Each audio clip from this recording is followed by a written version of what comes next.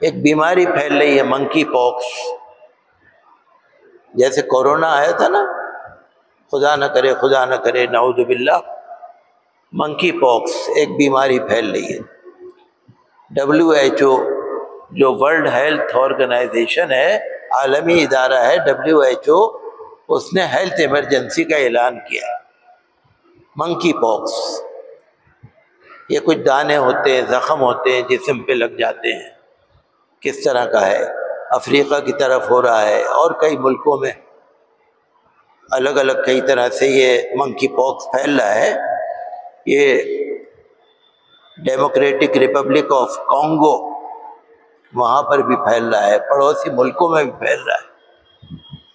اللہ کا شکر ہے، ابھی ہندوستان میں تو نہیں ہے، لیکن ڈبلیو ایچ او نے اس کے بارے میں ایڈوائزری جاری کی ہے۔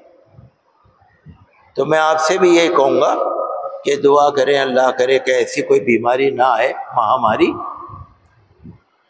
اور احتیاط، ہمیں مسلمانوں کو اللہ تعالیٰ ویسے بھی بچاتا ہے۔